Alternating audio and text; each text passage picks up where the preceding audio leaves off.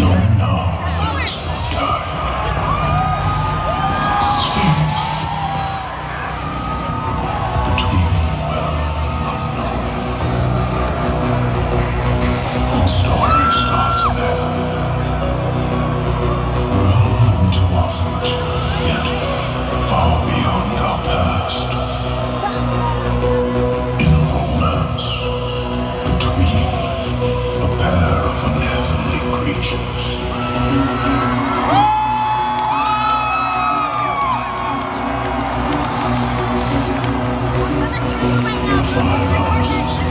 the place where the blind truly can